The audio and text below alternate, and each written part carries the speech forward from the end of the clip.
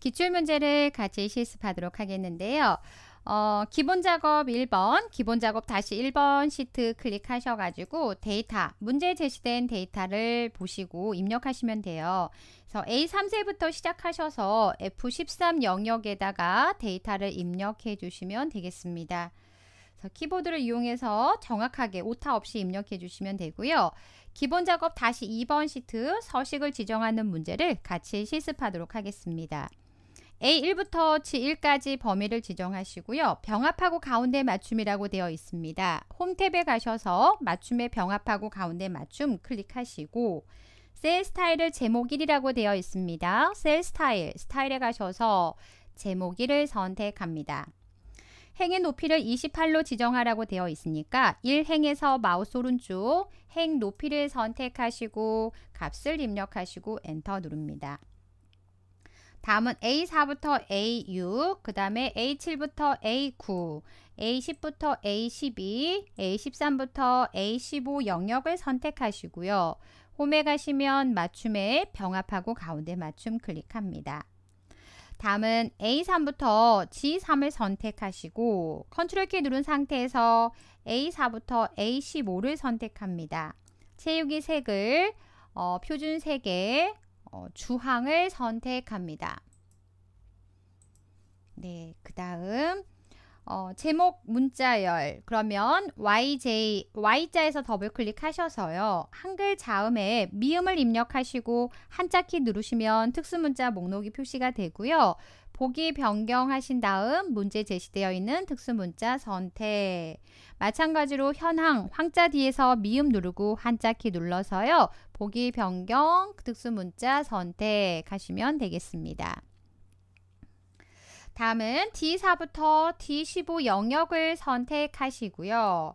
사용자 지정 표시 형식을 이용해서 그 마우스 오른쪽 셀 서식을 클릭하신 다음 다음 사용자 지정에 오셔서 어, 현재 입력된 데이터는 날짜 형식으로 표시가 되어 있지만 문제에서 문자라고 되어 있어요. 문자를 대신하는 기호 골뱅을 입력하시고요. 그 다음에 큰 따옴표 묶어서까지 라고 입력합니다. 몇 월 며칠까지 입력합니다. 문자를 대신하는 기호 골뱅이 그 다음 문자 처리하셔서까지 입력하시고 확인합니다. 연럽이 살짝 조절이 필요하겠네요. 다음은 A3부터 G15를 선택하시고요. 모든 테두리를 적용하기 위해서 홈에 가시면 테두리에 모든 테두리 클릭합니다.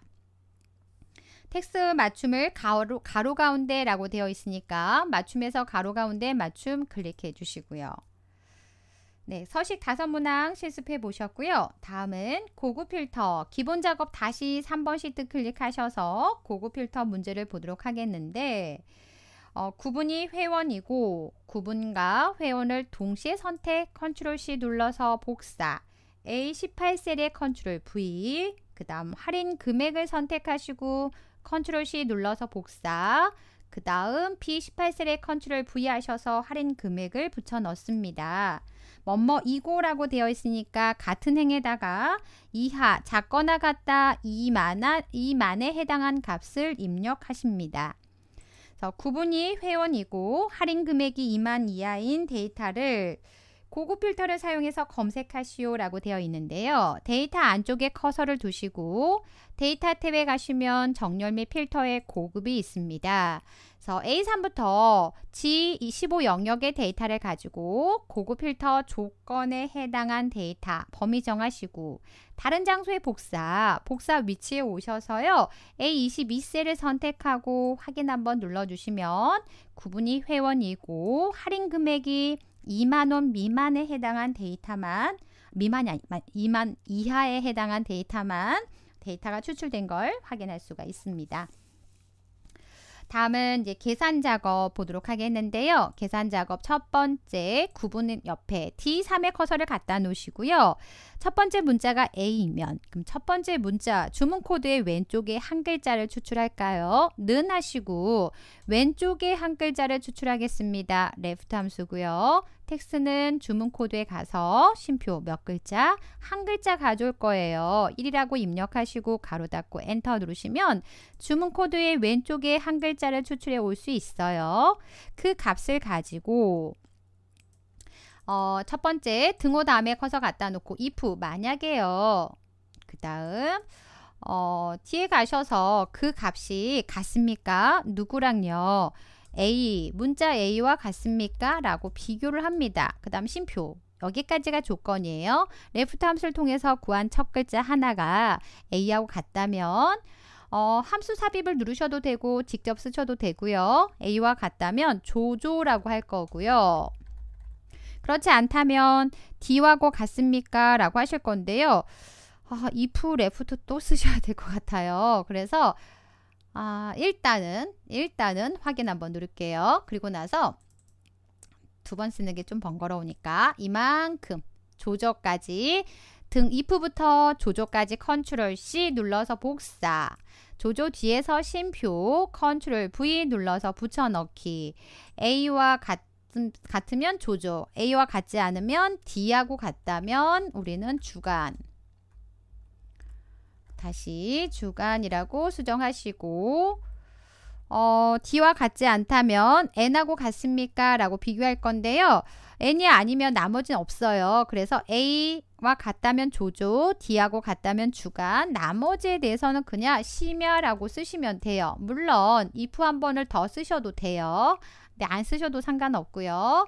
가로가 if 두 번 사용하셨으니까 가로 닫고 엔터 눌러서 아래까지 수식을 복사해 보시면 지금 복사하기 전에 보세요. A 그 다음에 D M밖에 없어요. 그래서 굳이 심야에 대해서 비교하지 않고 수식을 작성하셔도 D에 대해서는 심야라고 표시가 된 걸 확인할 수 있습니다.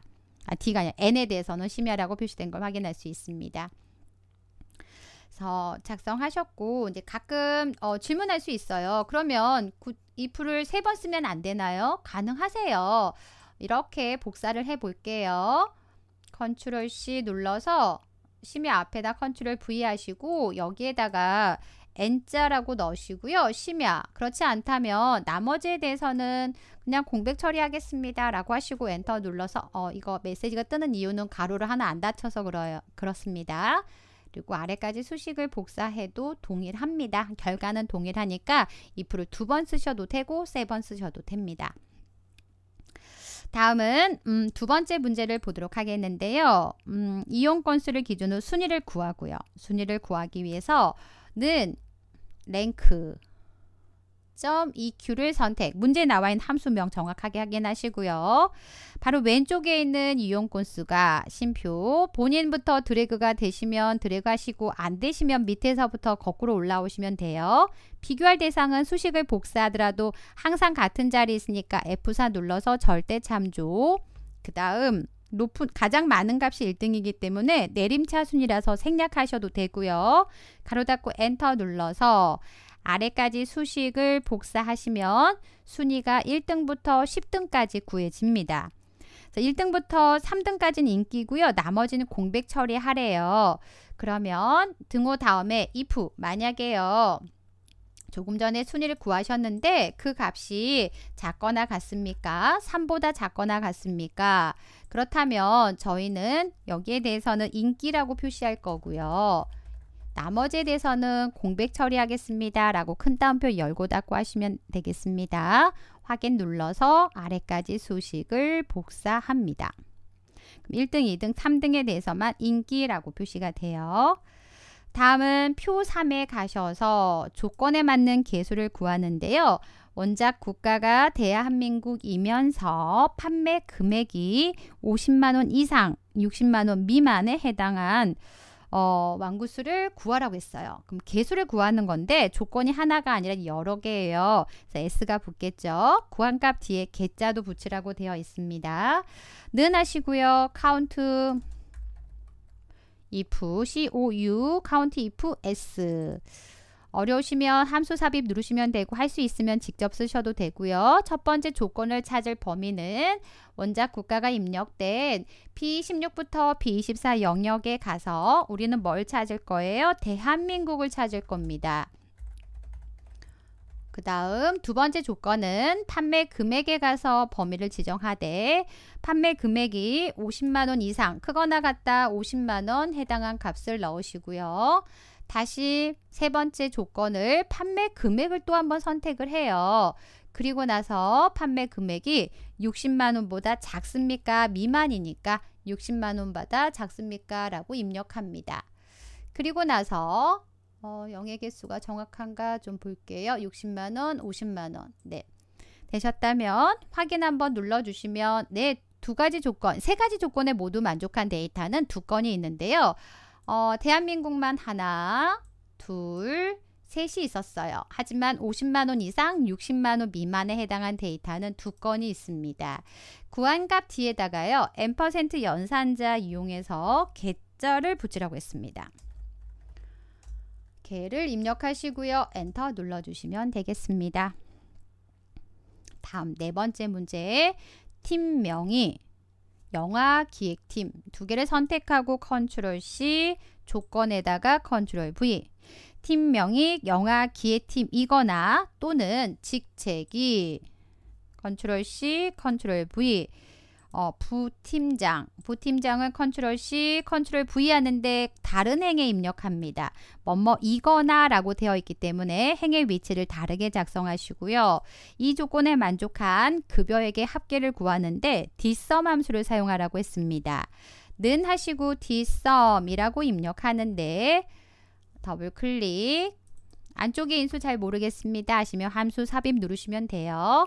데이터베이스 꼭 제목이 들어갑니다. 그 다음 두 번째 필드는 급여액에 대해서 합계를 구하겠습니다. 세 번째 조건은 미리 작성해 놨던 어, L23부터 M25 영역을 선택하시고 확인 버튼 누르시면 두 가지 조건에 하나라도 만족한 데이터에 급여액의 합계를 구할 수가 있습니다. 다음은 다섯 번째 문제를 보도록 하겠는데요. 티켓 구입액의 순위를 구하라고 되어 있습니다. 순위부터 구하기 위해서 랭크점 RA.EQ 더블 클릭 바로 왼쪽에 있는 구입액은 본인을 포함해서 어, 클릭이 안 되면 밑에서부터 위로 올리시고요. 비교할 대상은 수식을 복사하더라도 항상 같은 자리에 있습니다. 라고 F4 눌러서 절대 참조. 어, 오름차순을 구하라고 했기 때문에 꼭 넣어주셔야 돼요. 내림차순은 생략할 수 있지만 오름차순은 꼭 넣어, 1이라고 넣어주시고 가로 닫고 엔터. 아래까지 순위를 구했더니 1등부터 9등까지 순위가 구해집니다. 그래서 순위에 대해서 등급별로 루비부터 다이아까지 등급을 표시하라고 했는데 1등부터 2등까지 루비가 되겠죠. 오름차순으로 표시하시면 돼요. 어, D29셀 등호 다음에 커서 갖다 놓으시고요. 참조하는 표가 수평호 작성이 되어 있으니까 H루컵 찾을 값은 조금 전에 구해놨고요. 심표 어려우시면 F 삽입 아니면 할 수 있으면 오른쪽 참조할 표는 오른쪽에 있습니다. 수식을 복사하더라도 항상 같은 자리입니다. 쉼표 첫 번째 행에 가서 찾고 두 번째 행에서 데이터를 가져올 거고요.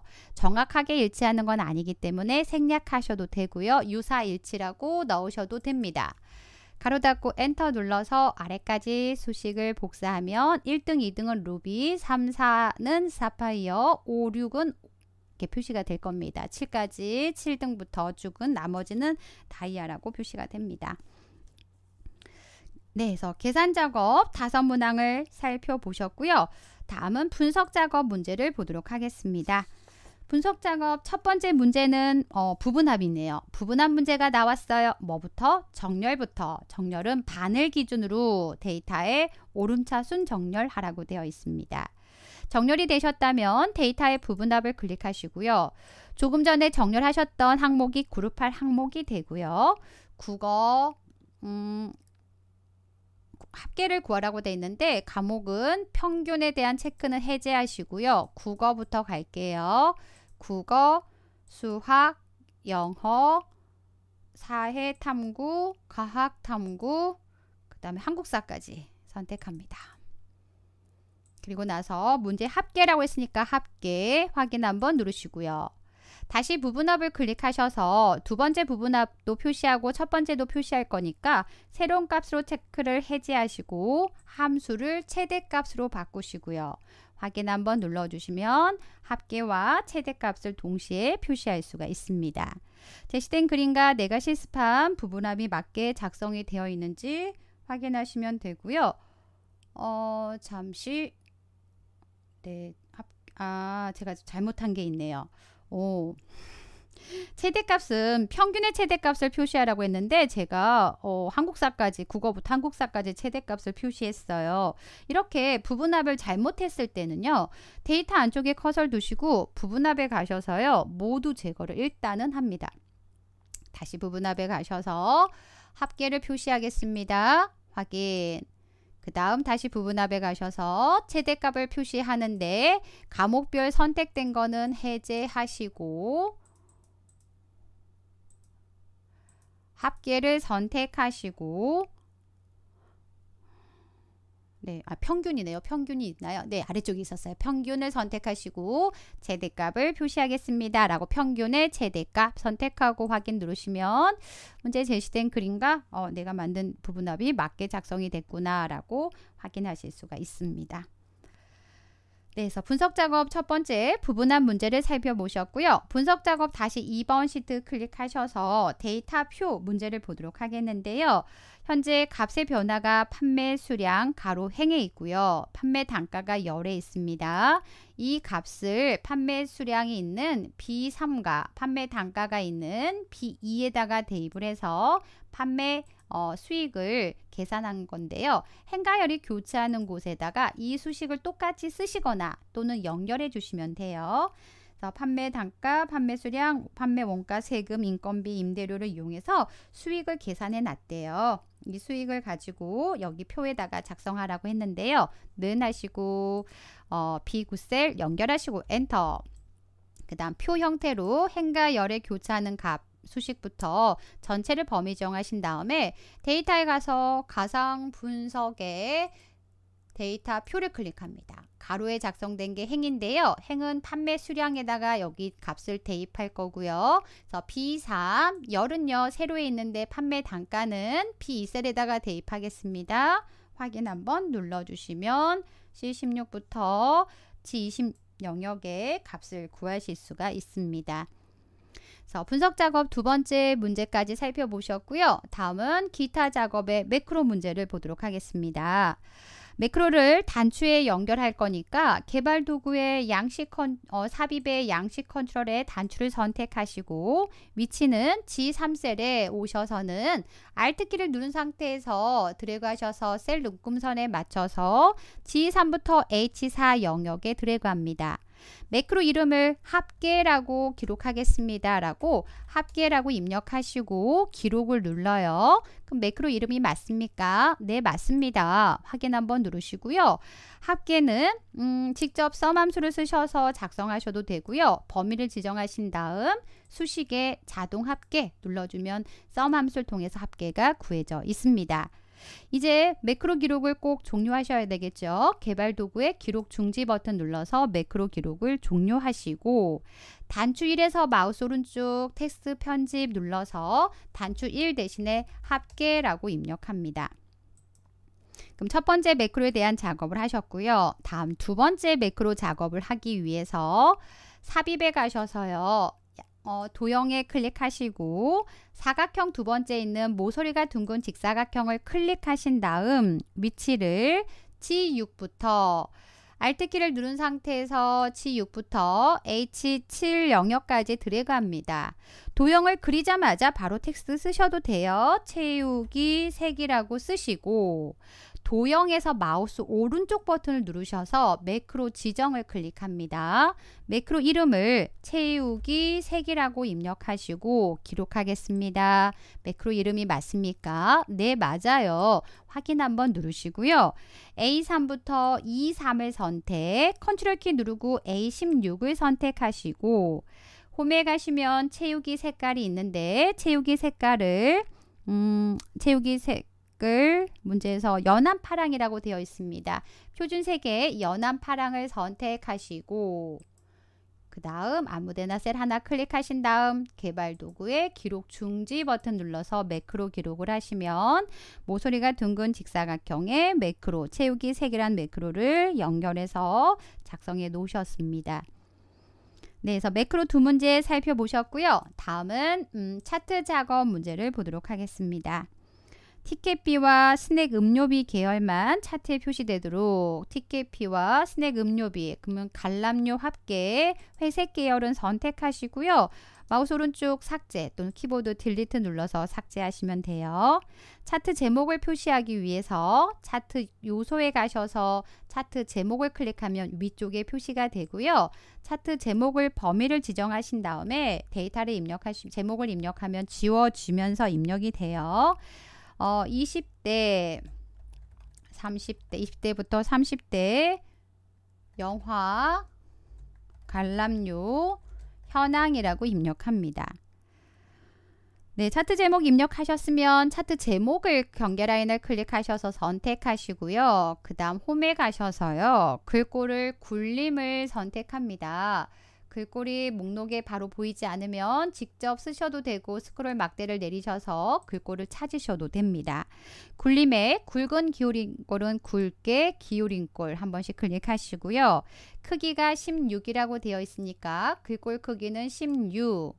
그 다음 밑줄 되어 있습니다. 밑줄을 실선인데요.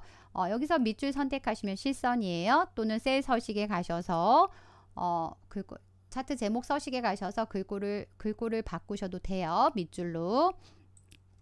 그냥 우리 홈에서 이용하시기 좀더 편하실 것 같고요.